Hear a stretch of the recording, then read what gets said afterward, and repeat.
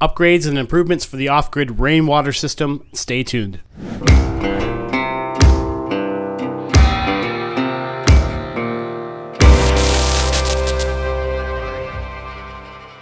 Welcome back to the channel. Today I'm working on the off-grid rainwater collection system and making a couple of small but important improvements.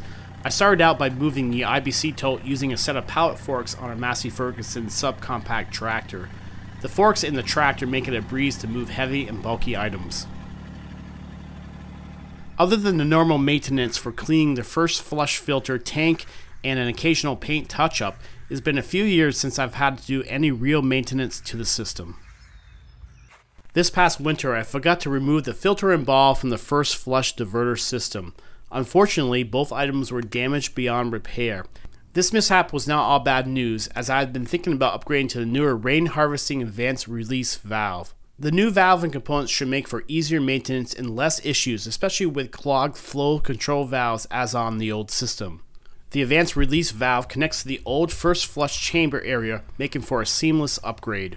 If you are unfamiliar with the first flush diverter system, this equipment diverts the initial rainwater and pollutants that first come off the roof when it starts raining.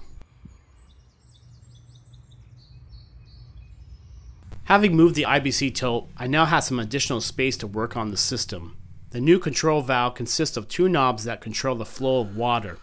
The right knob sets the release time and how fast you would like the first flush to empty.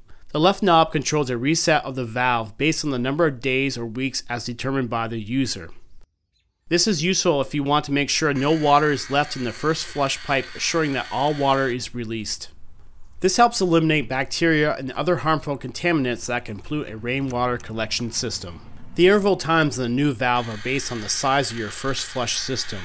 My first flush diverter pipe is pretty small, so the 5 minute setting should work well. Depending on the system's size and desired results, a longer reset interval will mean that the first flush diverter chamber empties less frequently, leading to a higher rainwater yield. A short reset interval will mean that the first flush diversion chamber empties more frequently, resulting in a lower water yield. Be sure to use Teflon tape to help eliminate any leaks when putting all of the components together. After connecting, I filled the first flush pipe to test the valve. This system should offer significant improvement from the old system. As I previously moved the IBC tote with the pallet forks, I ended up giving the entire system a good clean out with our pressure washer.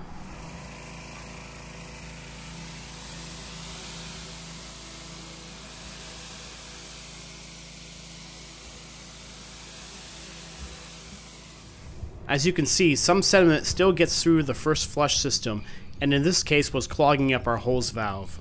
After getting things cleaned out, we were back in business and ready to reassemble the system. Installing a new cover is a good upgrade which will save time from having to paint the IBC tote.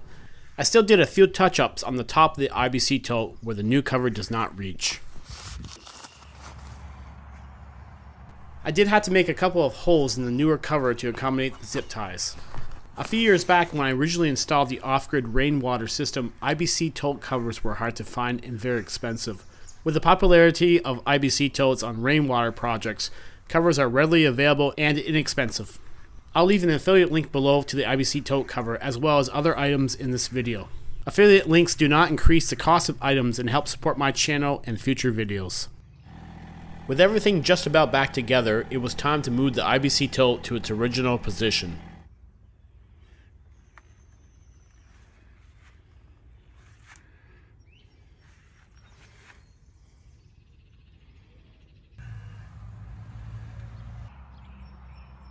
After making the final connections, rain arrived a few days later and all was working well. I'm looking forward to the ease of use with the new advanced release valve as this is a nice upgrade to the existing system. Thanks for watching. Please comment if you have any questions or thoughts on the system below. Take care and have a great day.